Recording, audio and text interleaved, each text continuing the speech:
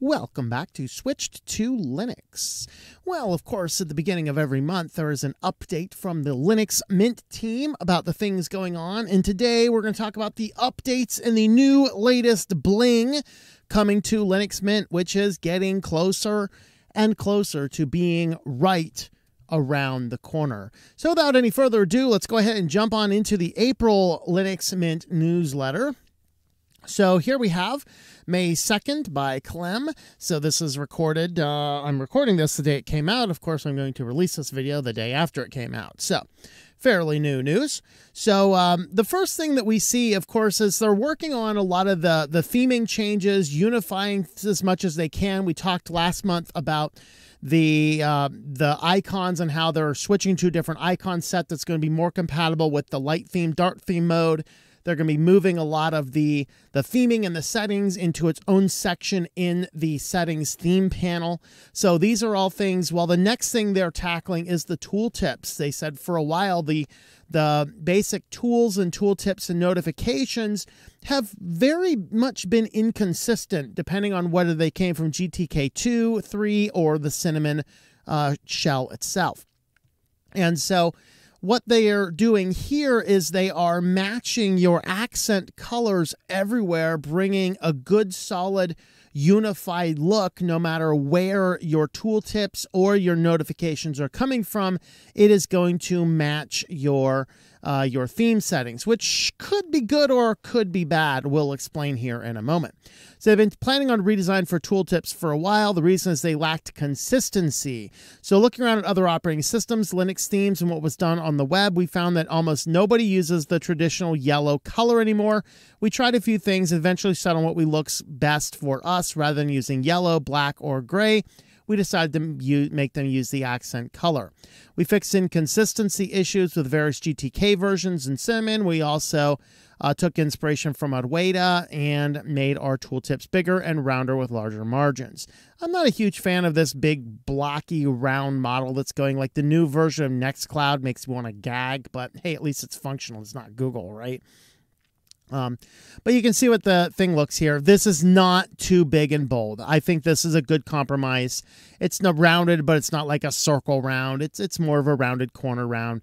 And then this is a pop up, uh, just a little tooltip notification. I think looks good.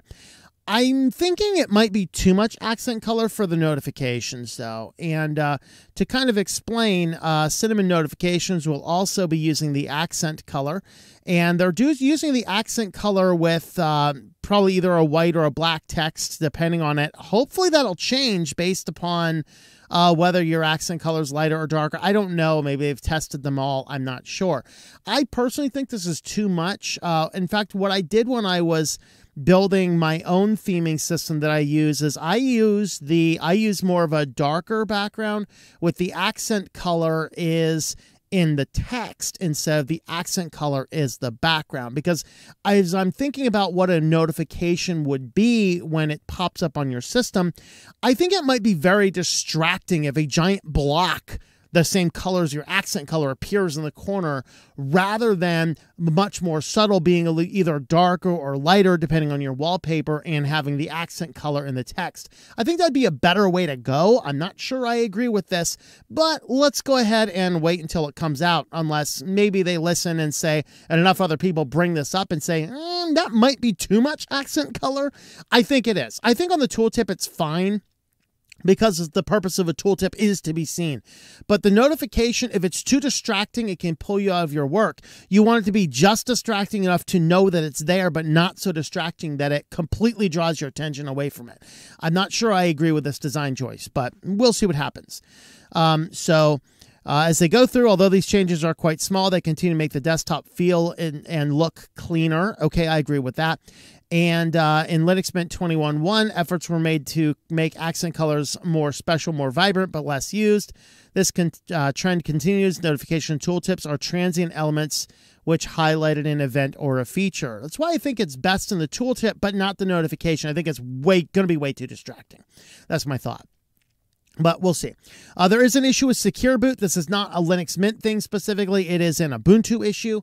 And so what they say here is Ubuntu's shim signed broke the compatibility of all Linux Mint and past Ubuntu derivative ISOs with Secure Boot. So uh, they are working on this. If you are trying to install it and you have Secure Boot enabled, it may not work because of this issue.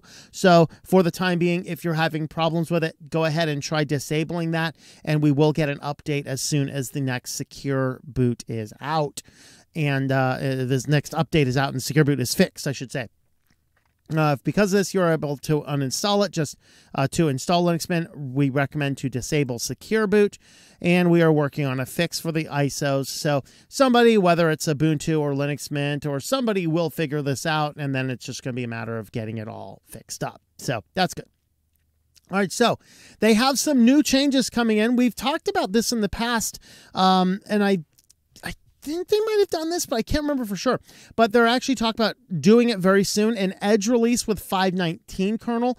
I think if you're going to go Edge, you should go a little bit into the 6 uh, kernel because there is some, uh, you know, 6.3 is out. Is it 6.2 or 6.3 is out? I forget. Uh, the latest kernel is already on Ubuntu. And if we're talking about an Edge ISO, why go 519? I can install 519 on my current Linux Mint builds. It goes default on 21.1 is going to be 515 with the ability to easily click up to 519. If we're talking about an Edge ISO, I think the Edge ISO should go up into the 6 branch uh, because it's an Edge ISO. An Edge ISO um, should be a little bit higher, a little bit closer to current releases.